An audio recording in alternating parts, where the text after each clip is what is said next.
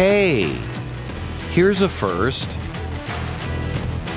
Uh, never before has any country in battle shot out of the sky a uh, a ballistic missile outside of the atmosphere. Apparently, the Houthis launched from Yemen a missile that flew a thousand miles over the Arabian Peninsula on the way to its target. It left uh, our atmosphere, was in space, and Israel used its Arrow missile defense system to shoot down a ballistic missile outside of Earth's atmosphere, believed to be the first combat ever to take place in space. Oh, that's good. So who it, whoever had first battle in space, the Houthis versus Israel, you're a winner. Come claim your prize. Star Wars has begun. Who knew? That that would be a very, but the odds on that would be very high. I feel like Houthis would not be the top of the list of that particular equation, but there you go. Yemen's Houthis also released footage purporting to show the missile being launched as part of a barrage of drones and other long range weapons aimed at Israeli towns and cities. Can I ask you, um,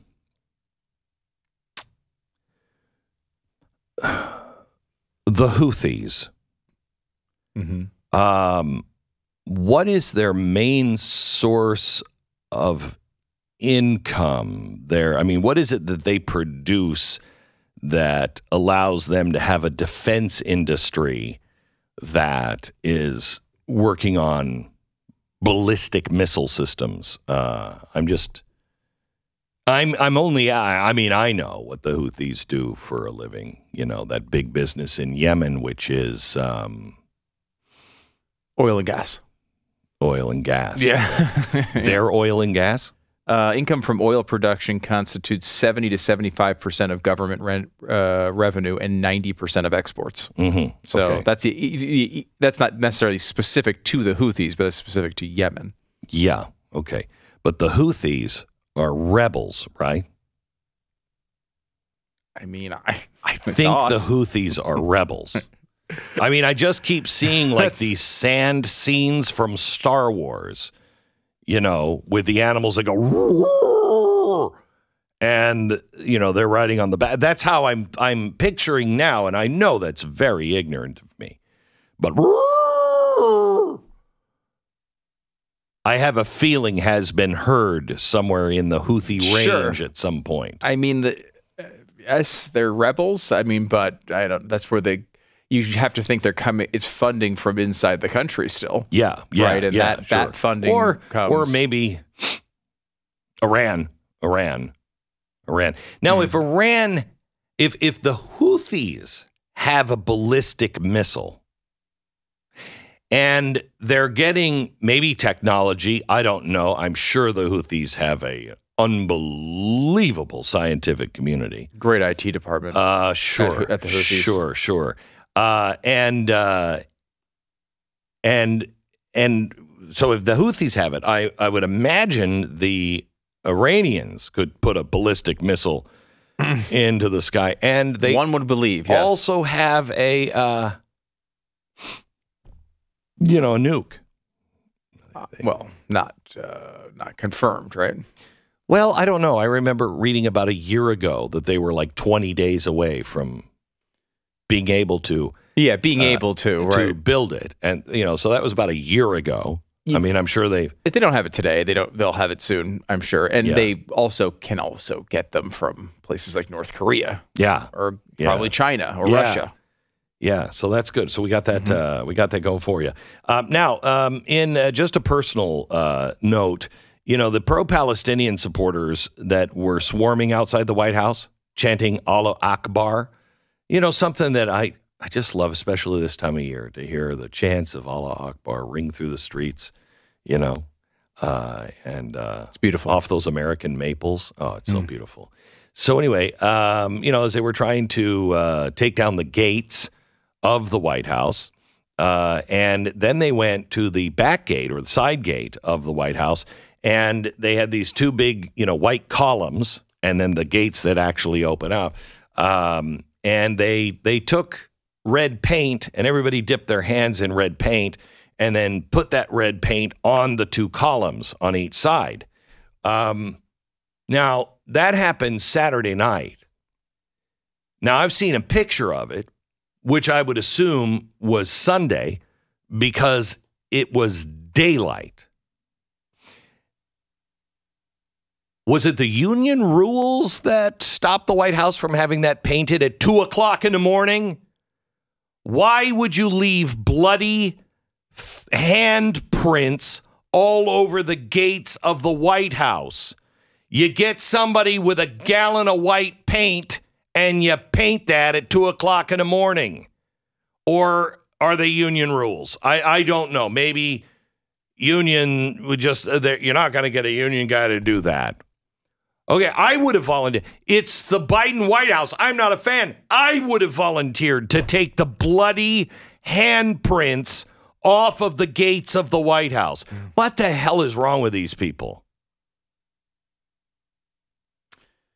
You'd think at least someone gets out there with a power washer and gives it a go.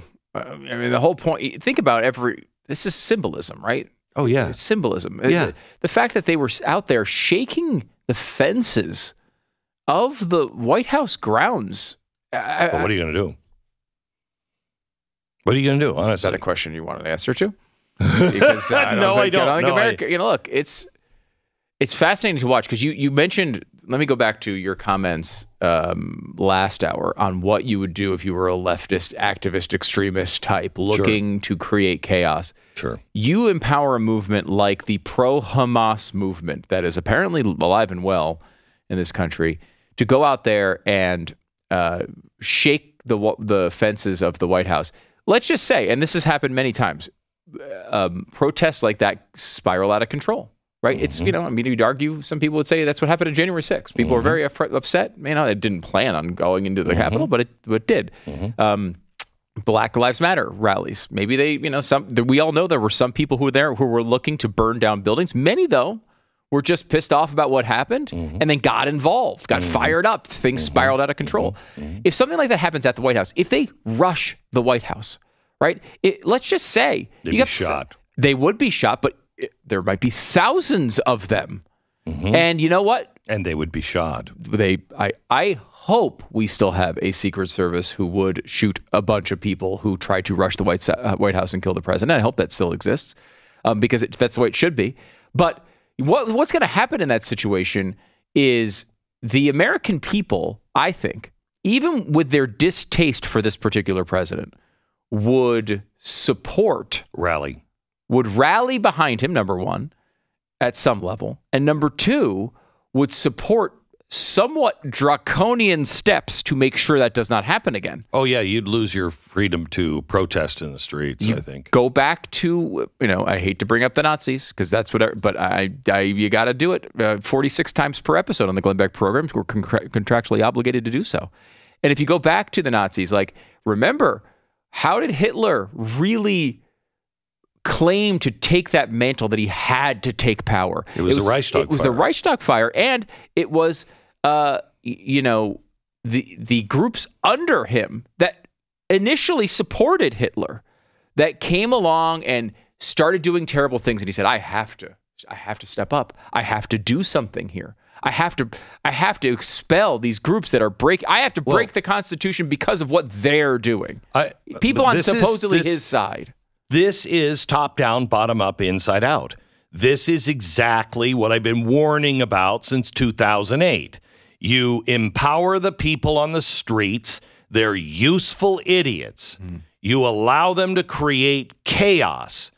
And then when the people cry out and say, enough is enough, then the government comes down with draconian measures to crush them first, but crush everyone else as well. Mm. So they'll take control. That is that's that's the plan of leftists top down, bottom up, inside out. That's what it is. You know, the other thing on it is uh, the Bubba effect. We have a terrorist uh, problem in this country, if they, God forbid, do something like, I don't even want to say it, they do something uh, that has been done before in this country, people will lose their mind. And do you think the federal government is going to, the one who just said, you know, hey, we care about Islamophobia over uh, anti Semitism? Do you think those people who opened up our border are going to have any credibility? Any credibility? Any authority? This is what the military had been planning for. I've been telling you that since 2008, too, called the Bubba effect. And we are prime for all of those things. That's why we just have to get down on our knees and pray because this is going to take a miracle that only the God of Abraham, Isaac, and Jacob could pull off. It is. And um, we, we've got to we've got to stop putting our faith in men and start putting our faith in God again. Let's do everything we can to win the election. Let's do everything we can to make sure that we are stable in our own lives. But uh, I'd get down on your knees and pray because God is the only answer to this particular problem, I believe.